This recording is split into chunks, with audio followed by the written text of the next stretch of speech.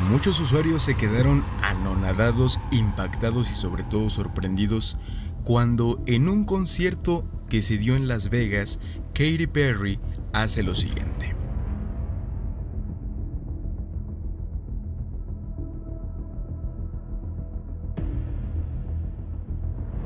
Enfermedad, desprogramación, error en la Matrix, ¿qué es lo que pasó en realidad?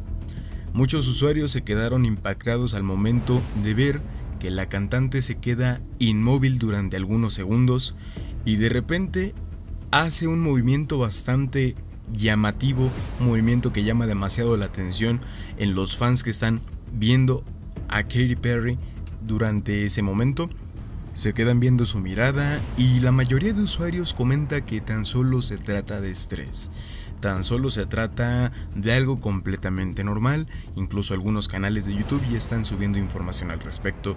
Sin embargo, desde otro punto de vista, desde el punto de vista de la mayoría de usuarios que pidieron este video aquí al canal del Caminante Astral, que por cierto están invitados a suscribirse en este momento, pues mencionan que fue un error de desprogramación, algo de una parálisis facial probablemente, y algunos otros comentan que simplemente fue un error de programación.